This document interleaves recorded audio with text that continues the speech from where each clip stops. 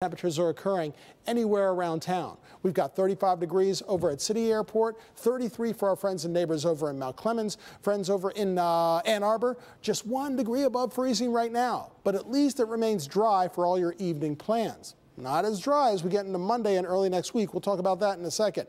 Winds right now around 5 miles per hour. Still doing the thing of lowering those wind chills. Wind chills right now easily running in the 20s. That's how cold it feels outside if your skin is not protected. But there is some good news in the forecast. Temperatures will be a little bit higher. I mean, out to our west, it's 39 degrees in Des Moines, 48 in uh, Sioux Falls, South Dakota. Those temperatures are on the way for this weekend. Now, we'll continue to have dry conditions. Snowflakes all someplace else, at least for now, as we go through Friday night and Saturday. Saturday, we'll have partly to mostly sunny skies, and that will allow our temperatures to get closer to around 40 degrees.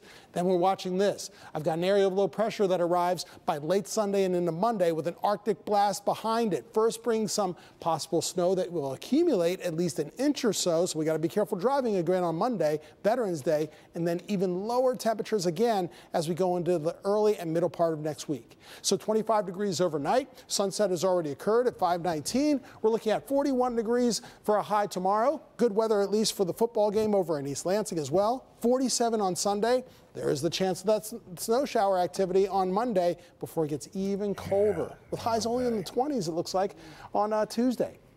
Just doesn't feel like we've had a whole lot of buffer time to move I into know, this. It's still autumn. Just flip the switch and we're right into winter. Sure did. All right.